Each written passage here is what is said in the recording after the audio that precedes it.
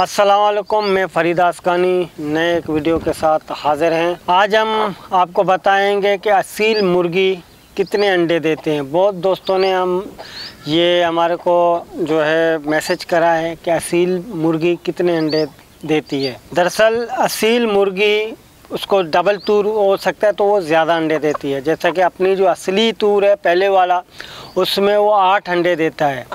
आठ से मुराद, फिर वो मुर्गा उसके साथ सारा दिन चला रहता है, मुर्गा उसके साथ होता है, मुर्गी के साथ, फिर वो डबल तूर कहलाता है। डबल तूर से मुराद, वो सोलह भी हो जाते हैं, सोलह से बीस बीस तक आ जाते हैं।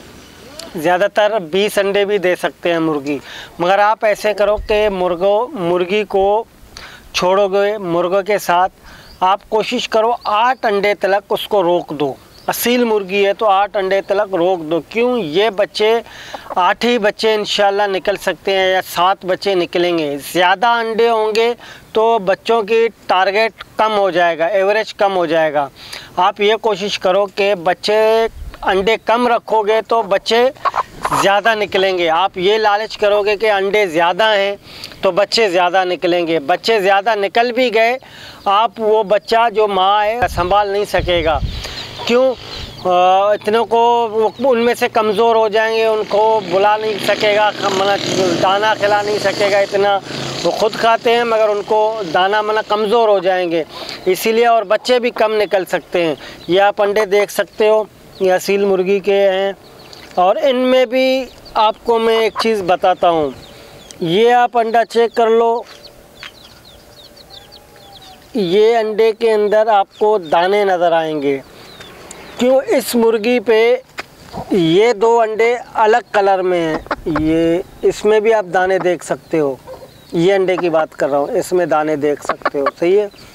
और ये अंडे, बकाया अंडे सारे एक कलर के हैं।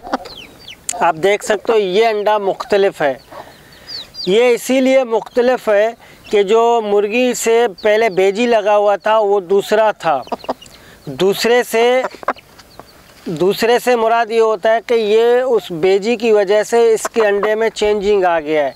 ये आप देख सकते हो। इसमें ये अंडे में, इस अंडे में फ़र्क है। हैं एक ही मुर्गी के अंडे, मगर ये फ़र्क इसीलिए दिया है कि ये बेजी की वजह से ये अंडा अलग कलर में है, ये अलग कलर में है। और ऐसे भी है कि जो बेजी नस्ल में बड़ा होगा वो अपने ऊपर खींचता है बच्चों को, जो मुर्गी से नस्ल में बड़ा होगा। और जो मुर्गी से नस्ल में छोटा होगा, वो अपने पास खींचेगा। जैसा कि मैंने कहा ना, असील मुर्गी आठ जैसे कि आठ अंडे देती है और वो डबल तूर हो सकता है तो फिर वो सोलह से बीस अंडे दे सकती है। और जो फार्मी होते हैं, जो ये लोकल मुर्गियाँ, वो तो तकरीबन तीस पैंतीस भी दे सकती हैं। असील मुर्गी की ये पहचान है। और अभी आपको बैठा, आपको दिखाएँगे, मैंने एक मुर्गी जो अंडों पे बैठाई है, वो आपको दिखाते हैं, शो करवाते हैं। ये आप देख रहे हो, मुर्गी है। ये मियाँ वाली और जागीरी में से क्रास की हुई है। और ये इसका बाप जो था, मुर्गी का मियाँ वाली था मुर्गा।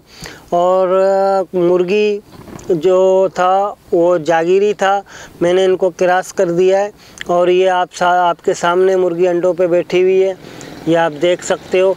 ये ये मुर्गी और वो जो बे, आपको मैंने अंडा दिखाया था, उन दोनों का बेजी शुरू वाला, एक अंडा जो अलग कलर में था, वो एक ही है। इन आप अगले वीडियो, ये इस वीडियो के बाद हम अगला वीडियो निकालेंगे। आपको इन पसंद आएगा, लाइक करो, शेयर करो, कमेंट्स करो, जो बात है इन आपसे शेयर करते जाएँगे।